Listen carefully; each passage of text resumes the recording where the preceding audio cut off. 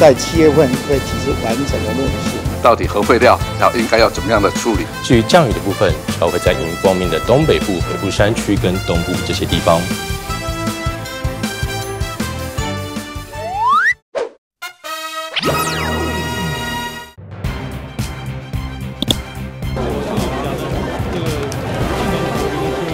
和平不是用选择，你就有办法得到。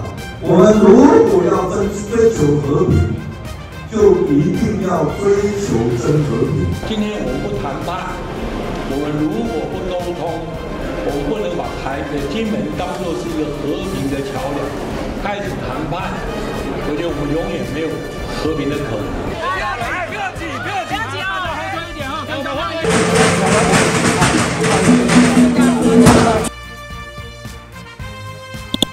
二零二五的飞核加油确实是做不到。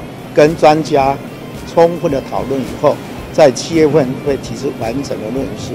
我们不缺电，你的力能又用不到，提不到我们的配比，电的来源从何而来？其实这个部分，赖清德主席应该出来说清楚了。侯市长要恢复使用核能的话，我想他需要好好的来跟大家说明清楚哈，到底核废料要应该要怎么样的处理。